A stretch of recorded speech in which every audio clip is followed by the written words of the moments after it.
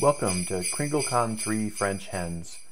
My name is Dave Herrald. I'm a principal security strategist at Splunk, and we're very happy to be here today at KringleCon to talk to you about adversary emulation and automation. A bit about my background. I've been in security and technology for quite a long time now. I've had many different security roles everything from running security programs as an information security officer to being a security architect, security engineer, security analyst. And I've had lots of roles in IT as well, mostly around infrastructure, system administration, and network engineering. I'm a former SANS mentor, and I've really uh, been a product of SANS in my career. I'm a GSE a lot of SANS certifications. I've spoken at a number of SANS summits over the past few years with my colleague Ryan Kovar. Currently in security, I'm focusing on adversary emulation, which is the subject of this talk, cloud security, and I've been doing a lot of full stack development uh, and getting into DevSecOps more uh, in, in, my, in my day job at Splunk. I've been at Splunk for about six years, and I'm the co creator of the Splunk Boss of the SOC. As I said, we're very appreciative of the opportunity to be able to participate in KringleCon and in Holiday Hack Challenge. There's a great deal of trust that's been placed in us by SANS and by Ed and by the folks at CounterHack, and we take that very seriously. At every turn, we will seek to emphasize security and best practices, and we will not emphasize product positioning uh, in these challenges. With that said, we do use Splunk in these challenges, and it's because that's what we have access to. But most of these concepts are universal and could be applied to really any technology stack that you have in your SOC. So please keep that in mind as we proceed. Why should we emulate the adversary? Well, number one, it allows us to build better detections. One of the primary activities that you engage in as a blue teamer protecting an organization is to create detections that can raise alerts when evidence of adversary activity is detected.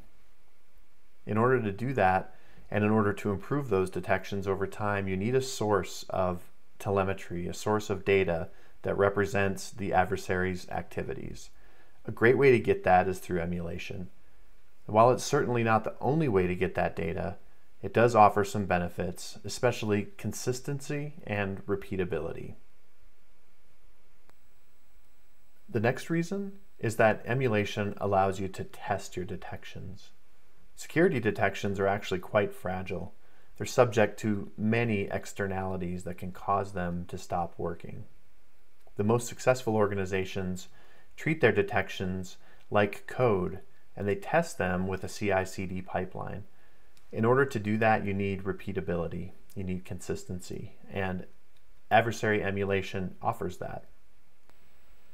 The third reason is that it allows you to test your vendor's claims about their products. Every security team has dozens, if not hundreds, of different tools in their SOC tool chain. Each one of those tools claims to provide certain value to your organization. But it becomes very, very useful to be able to emulate adversary activity in a realistic way and then test whether those solutions can actually detect that activity.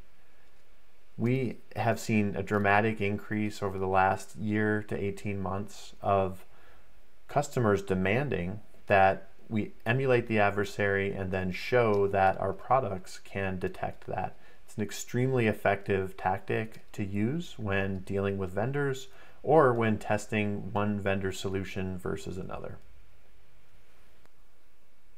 If you'd like to dig a little bit deeper into reasons why you should include adversary simulation in your security program, you might want to check out some of these resources. Over the past couple years, some colleagues of mine and I have been working on an adversary simulation project and we've presented on that at a number of conferences, some Splunk user conferences, a SANS Blue Team Summit, and also Black Hat Arsenal, both USA and Asia in 2020. I do recommend checking these out. They give a little deeper treatment to why you might want to do adversary simulation. But for today, we're going to continue on and show you exactly how to start simulating the adversary. So I want to show you one way that you can get started with adversary emulation. It's really broken down into four easy components or steps. The first one is Splunk Attack Range. Second is the MITRE ATT&CK Framework. Third is the Atomic Red Team project from Red Canary. And fourth is Splunk. Splunk Attack Range, number one on this list, is a really cool project. It's free, it's open source, it's created by some really smart people at Splunk, and it makes it really easy to spin up a range and then to launch attacks in that range and then look at the results in Splunk. The MITRE ATT&CK framework, of course, is the basis of a lot of security content these days. It's a knowledge base of adversarial activities, and it's free to use by uh, published by MITRE. It's an amazing resource. Most security content these days has some sort of a mapping to the MITRE ATT&CK framework. The third item on this list, Atomic Red Team, is also free. It's an open source project. It's created by Red Canary, amazing company who contributes so much to the open source community. The fourth on this list is Splunk. Splunk has some forms in which it is free. It's free-ish. Certainly for everything we're going to show you in this talk today and in anything that you'll see at KringleCon or in the Holiday Hack Challenge, you can do that with the free version of Splunk. And in fact, the Splunk attack range, item number one, provides Splunk for free. It spins up a Splunk instance running with the free license.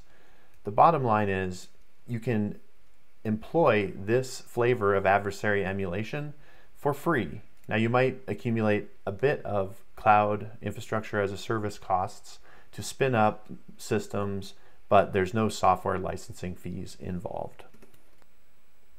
So let's talk about the Splunk attack range. As we mentioned on the last slide, Splunk attack range is a free open source project. You can check it out at the URL listed on the bottom of this slide. Attack range is a Python script and a set of configurations for Terraform and Ansible that allow you to set up ranges in cloud services like AWS and Azure. You can actually use attack range to set up ranges locally on systems as well. However, we'll only talk about the cloud options today.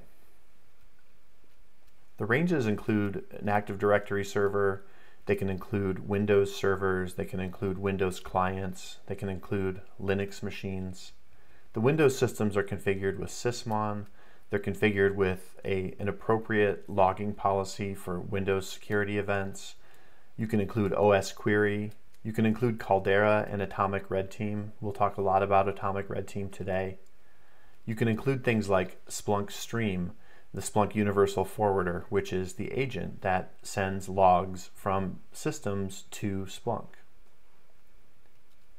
You can also include MITRE Caldera. You can include, of course, Splunk and Splunk Phantom and even Kali Linux. And this is all driven by the configuration that you choose. One thing that is of note is if you see at the bottom of this slide where it says index equals win, index equals attack, index equals main.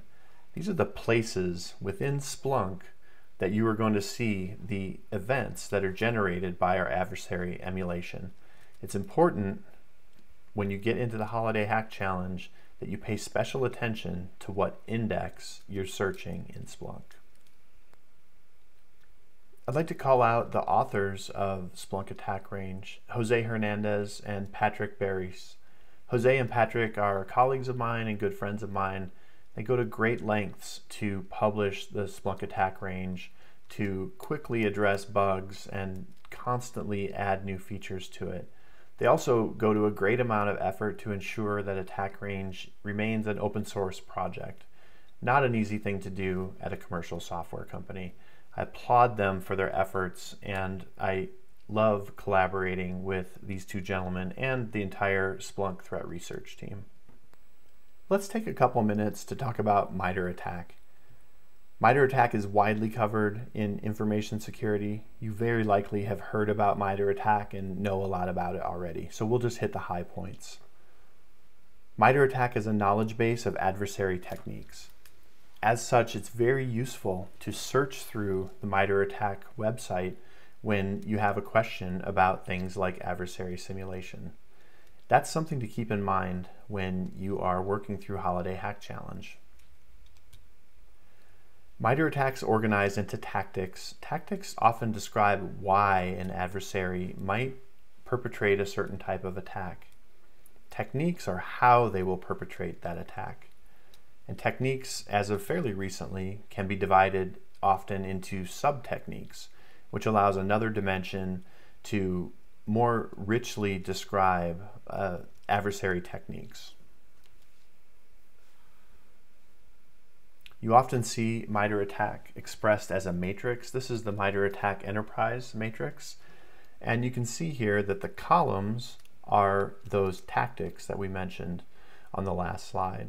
Now under those tactics are techniques.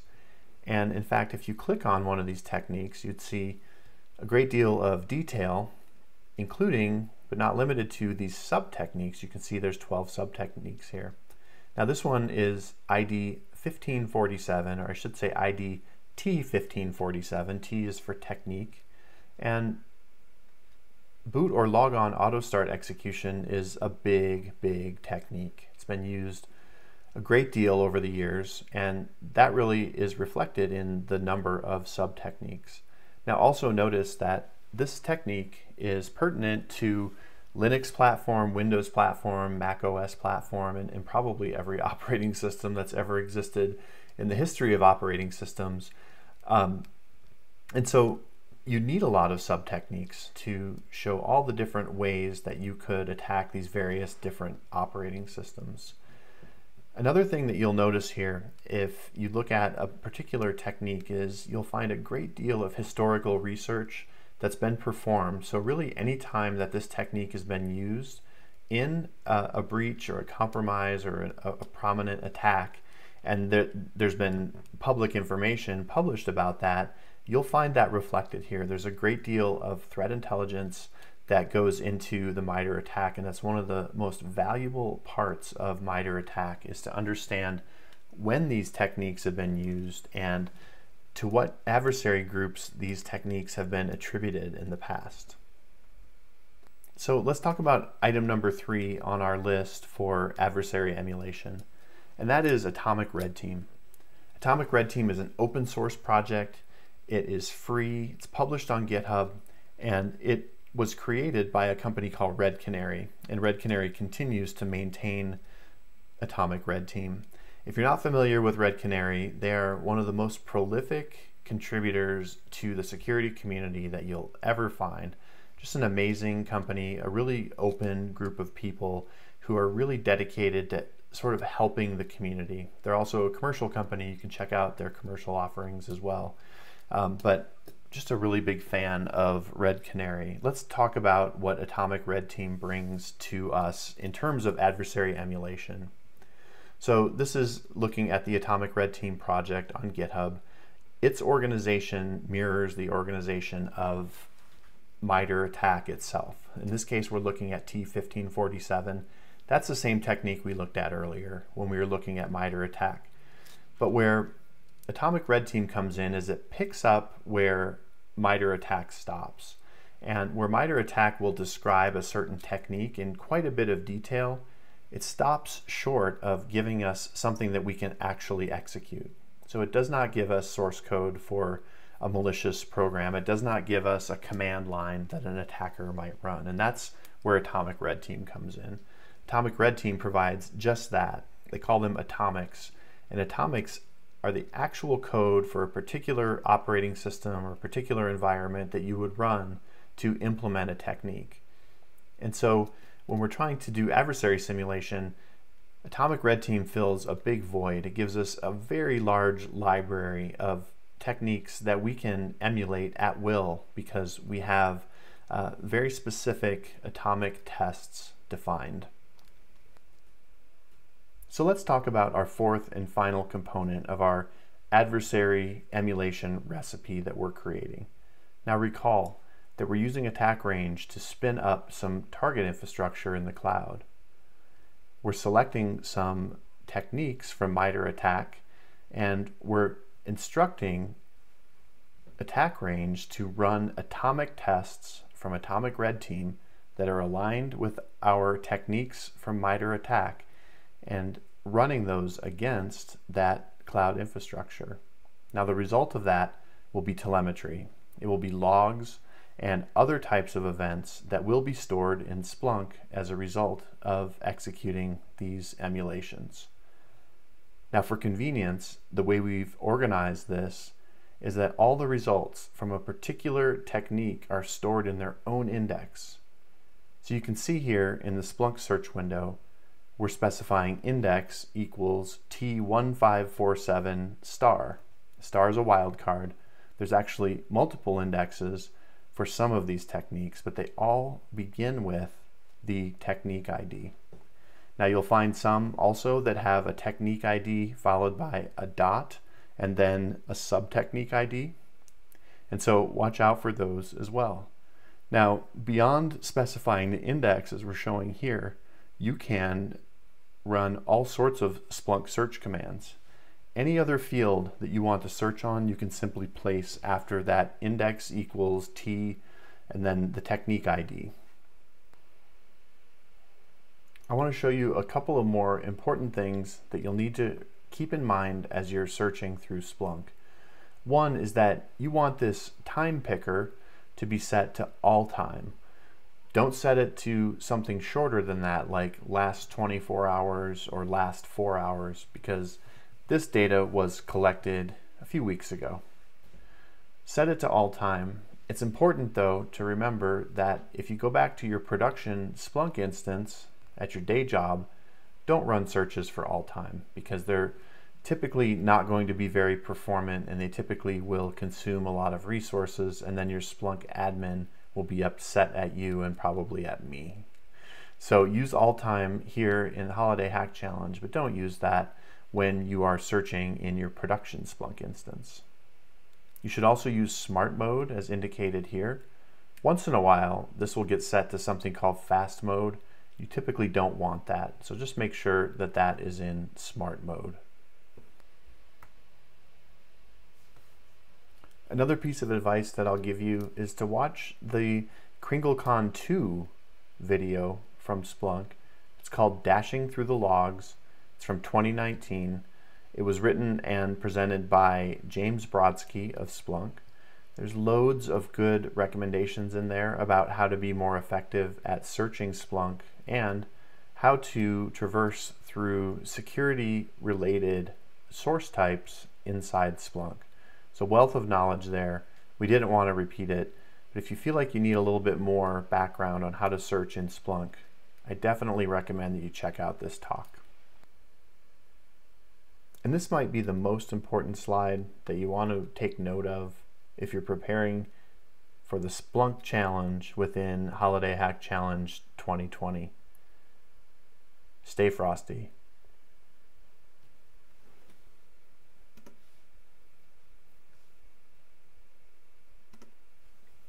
Thank you so much. Please do reach out on Twitter if you have any questions or if you want to get any more information on adversary emulation. I'm at Dave Herrald, and we look forward to you participating in KringleCon and Holiday Hack Challenge. Ho, ho, ho, ho.